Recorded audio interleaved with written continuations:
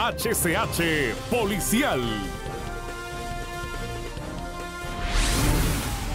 Muy buenos días. A continuación les presento primer resumen de sucesos de los hechos más relevantes ocurridos durante el fin de semana en la capital y alrededores.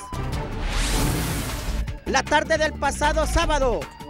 en el caserío Cepate perteneciente a la aldea de Cofradía, carretera vieja Olancho, en la ribera del río Choluteca fue encontrado el cuerpo sin vida de una persona del sexo masculino, el cual estaba semidesnudo y de quien se desconoce si fue que lo asesinaron y lo tiraron al agua o murió ahogado.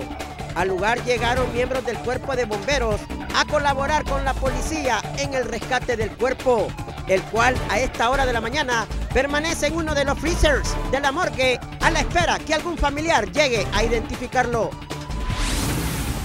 Por otra parte, la tarde del pasado sábado, en el sector 3 de la colonia Villa Cristina, en Comayagüela, un jovencito de apenas 14 años de edad, que con un machete podaba las ramas de un árbol, nunca se imaginó morir electrocutado, cuando al momento que cortaba una rama y levantó el machete, recibiendo una descarga eléctrica de miles de voltios, por lo cual murió casi al instante. La víctima respondía al nombre de Nelson Noé Vilches Carrasco, de apenas 14 años de edad, donde ya su cuerpo fue retirado de la morgue judicial capitalina por sus familiares.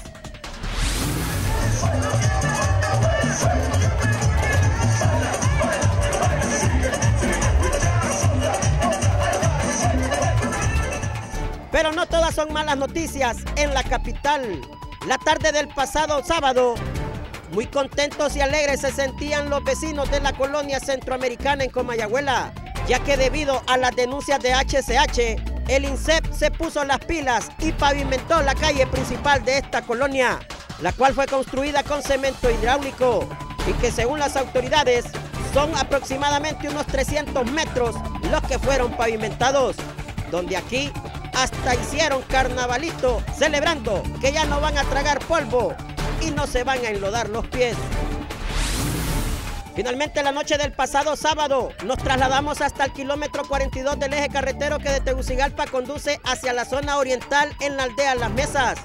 donde una persona de la tercera edad, quien supuestamente andaba bajo los efectos del alcohol, fue embestido por un bus interurbano de la ruta Tegucigalpa-Moroselí, el cual del fuerte impacto lo hizo volar y lo tiró a un lado de la calzada quitándole la vida de inmediato. La víctima respondía al nombre de Samuel Antonio Rivera Salinas, de 59 años de edad,